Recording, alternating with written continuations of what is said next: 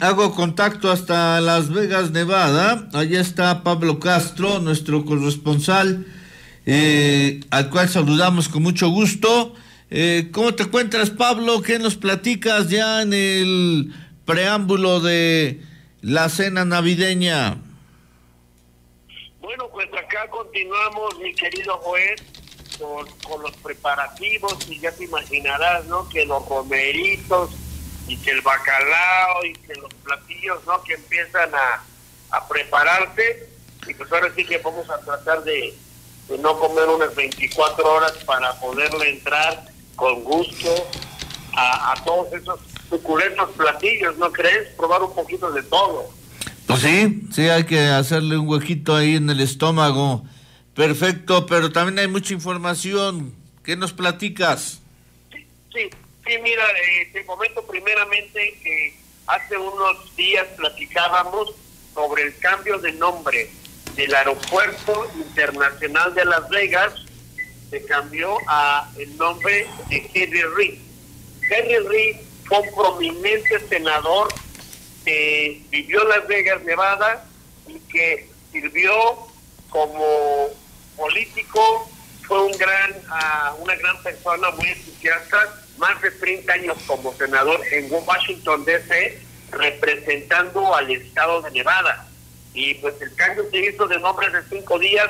Lamentablemente murió el senador Henry Reed ayer en, en la ciudad de Las Vegas, muy triste, y pues ya comienzan a, a, organizarse distintos homenajes póstumos para recordar ese legado del senador Henry Reed, a quien siempre vamos a guardar una admiración tremenda. Yo cuando contacté a Henry Reed hace varios años, siendo él presidente de la Cámara de Senadores en Washington, le pedí sumarse al proyecto a la, a la defensa de los mexicanos que enfrentan la pena de muerte en Estados Unidos, y él de manera entusiasta, con una reacción inmediata, escribió una carta dirigida a su servidor para hacerme saber que él estaba a la orden y que su, en su posición como presidente del Senado de Estados Unidos, él iba a hacer todo lo posible para que se pudieran resolver estos casos, revisar los casos de los más de 50 mexicanos que enfrentan la pena de muerte en Estados Unidos. Con esto quiero decirte que Henry Reed, más allá de ser una persona visionaria, el que desarrolló Las Vegas, Nevada, como gran político, él también tenía ese gran corazón como persona, eh, solidario, eh, muy entusiasta, uh, humano, ¿verdad? En todos los sentidos, y pues él siempre estuvo, eh, también estuvo en la lucha, por supuesto, de los programas de migrantes, de la famosa reforma migratoria en Estados Unidos, siempre él dio su voto, la firma, te digo, esta carta que me envió donde me dijo, por supuesto Pablo, que yo me sumo a su proyecto en la campaña en contra de la de la de la de la pena de muerte, eh, yo, yo no favorezco eso, así es de que lo vamos a recordar con mucho cariño al senador Jerry Reed, que ayer falleció aquí en Las Vegas, Nevada, y pues que en paz descanse uh, mi querido Joel. Y platicábamos de eso, ¿recuerdas?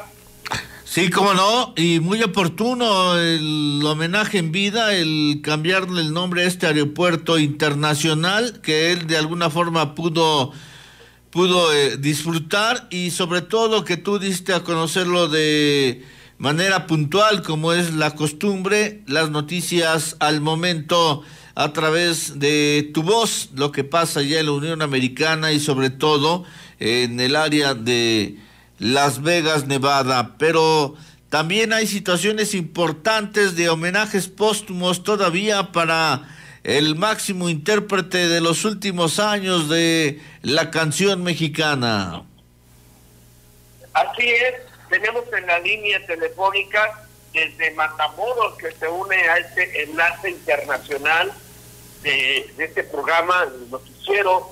Eh, tenemos en la línea a la señora empresaria, contadora María Dolores Rincón, que está precisamente ahorita en Matamoros, Tamaulipas, con los preparativos para el gran homenaje que están organizando allá en la ciudad de Matamoros, Tamaulipas, allá en la frontera, del otro lado de Bronx, Texas, del otro lado del Río Bravo. Allá se encuentra la señora doña Mari Dolores Rincón, madre del gran intérprete de la música regional mexicana, Arturo Rincón. Buenas tardes, señora Mari. Hola, buenas tardes desde Matamoros, Tamaulipas. Les, saluda, saludamos cordialmente y estamos muy complacidos, muy contentos de tener este homenaje póstumo al señor Vicente Fernández. El día de mañana se llevará a cabo en un lugar aquí de la ciudad muy importante, el cual este, estamos haciendo todos los arreglos convenientes para que el evento sea muy lucido y que llegue a eh, a, muchas partes. Lo vamos a estar transmitiendo.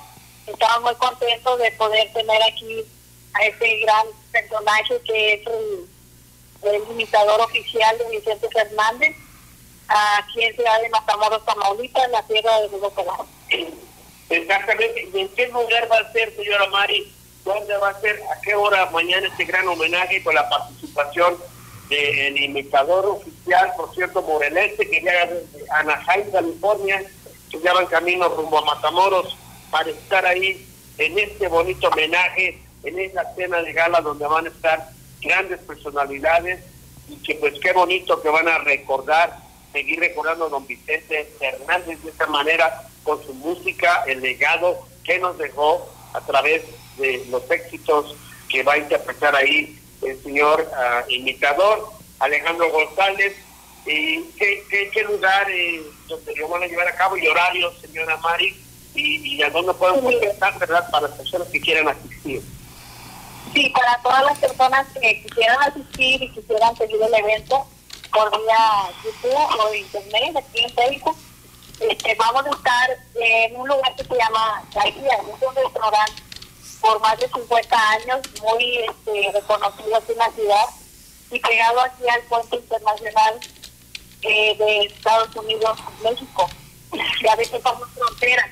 Afortunadamente contamos con este lugar muy, muy bonito. Va a empezar a partir de las 11 de la noche el evento y pues eh, va a con mariachi en vivo, va a estar muy, muy lucido el el intérprete pues es una persona muy muy preparada y estamos muy complacidos aparte de que tendremos también de para abrir el para abrirle el espacio a, intérprete vamos a tener también un homenaje póstumo a Luis Miguel un homenaje a Luis Miguel ¿no?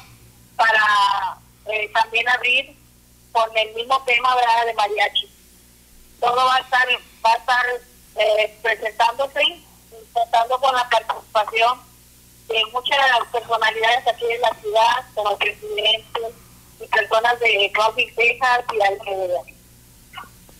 Qué bueno, pues allí en García mañana, ¿verdad? Justamente a unos a unos metros del río Bravo, de esas aguas heladas que corre por ahí, por esa ciudad fronteriza de Bronce y Matamoros. Ahí está García y a partir de las 10, 11 de la noche, donde va a cantar también Arturo Rincón, y pues van a recordar ese bello legado que nos dejó el gran maestro Vicente Fernández. Eh, ¿Alguna pregunta, mi querido Joel, desde los estudios allá en Toluca? Para la señora Mari Dolores. No, pues simplemente agradecerle, qué bueno que se recuerda a este gran intérprete Vicente Fernández y agradecerle su tiempo a la señora María Dolores Rincón, mucho éxito en este evento ahí en Tamaulipas y también agradecerte a ti porque nos llega la guillotina de este enlace nacional e internacional. Pablo, pero estaremos el día viernes enlazándonos de nueva cuenta en el último enlace de este 2021. Así es, mi querido Joel, eh, pues así estaremos primeramente Dios. Algo que quiera agregar, señora Mari Dolores para concluir este segmento internacional? Pues solamente que les deseamos a todos un feliz año, próspero y todo lo mejor para, para toda la comunidad hispana y toda la comunidad eh, mexicana.